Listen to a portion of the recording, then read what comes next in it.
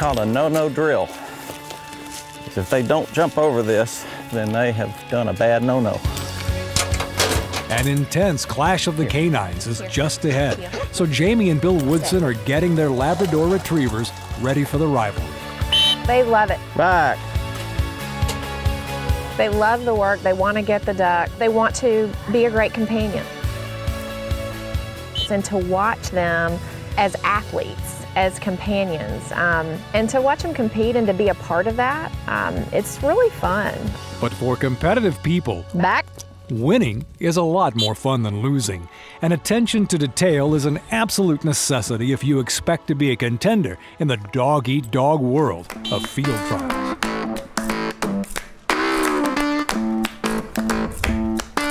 They call it challenging the line of the blind. You know, don't, don't vary far from the true line.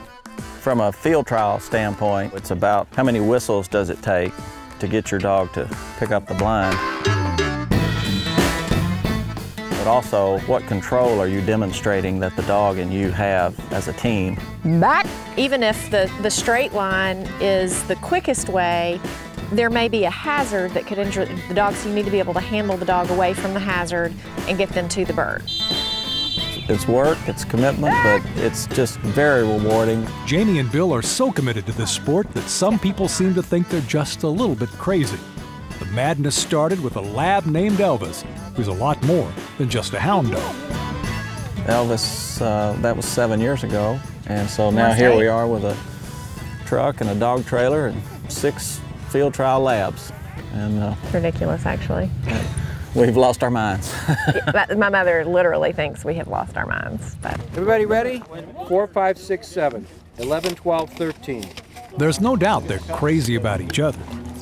I, I just don't know that I've ever met a person who was just a better all-around person than Jamie. She's a remarkable lady. She's a, she's a great mother.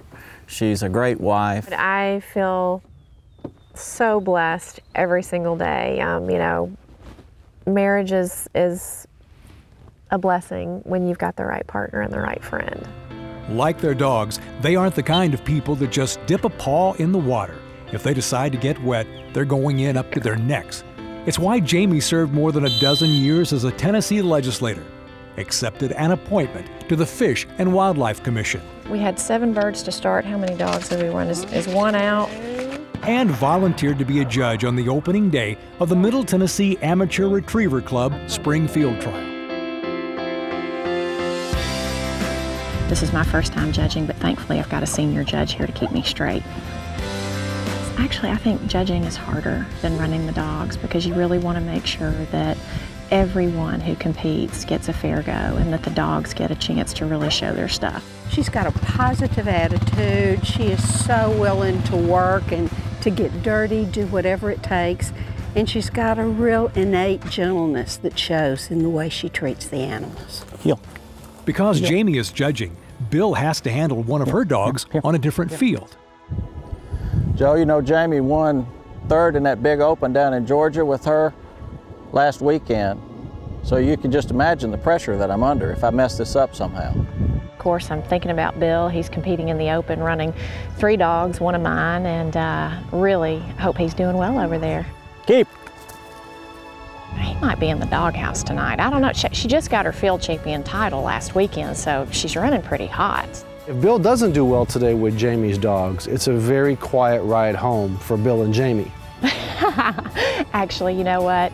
This is this is a tough sport. I'm uh, I'm wishing them both well, but I won't hold anything against him. Despite a complex course, Jamie's dog keeper responds to her training and takes away the worry. It was good. I'd say I'd give that a B plus, A minus kind of thing, but ought to be good enough to play, I hope. So, in the next two days of the event, Bill and Jamie are back together, sometimes with one watching as the other competes, sometimes running their dogs back to back, competing against each other. It, it's nerve wracking and Come on. exciting, and um, it's harder to watch. I think your partner compete because you just want everything to go well for them. Um, it has been for me. Yeah, I, I'm a lot more nervous watching her than I am when I'm handling a dog myself. But we're both very competitive people. I'm kind of laid back about it, but I'm very competitive, and Jamie is I'm not laid competitive off the charts.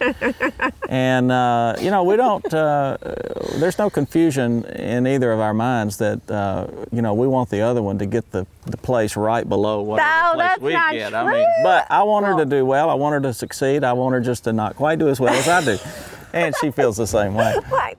I wouldn't admit it. Golly. Woodrow. You don't have to watch these dogs work for very long to realize that for a handler to be successful in this sport, it takes patience, discipline, consistency, loyalty, trust. And when you think about it, those are the same kinds of characteristics we should expect from the people who represent us in government.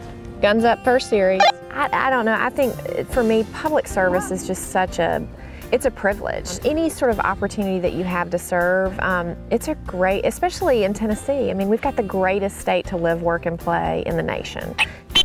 Her heart's in the right place. She wants to do the right thing. Heel. Heel. Doing something bad or wrong is just not part of her makeup. And she's someone he can count on to go duck hunting, turkey hunting, fishing with him, while running their retrievers every chance they get. And occasionally have an opportunity to you know take a bite out of the apple and actually win uh, is great. But really it's around it's being around great people and seeing the dogs and Yeah. working with the dogs the relationship that we have with them. They don't have this terrible work life. They're our family. I'm Steve Hall on Tennessee's Wild Side.